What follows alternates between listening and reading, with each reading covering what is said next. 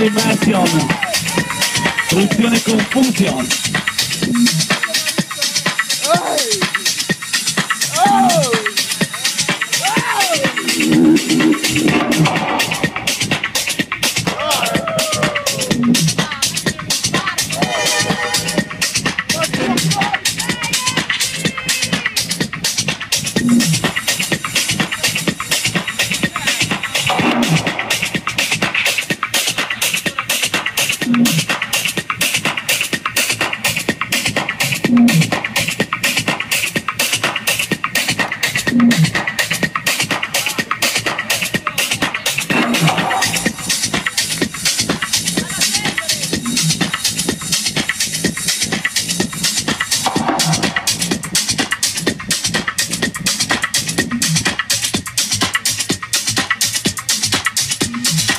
First of all, can you tell us a little bit about why you got attracted to the world of making music?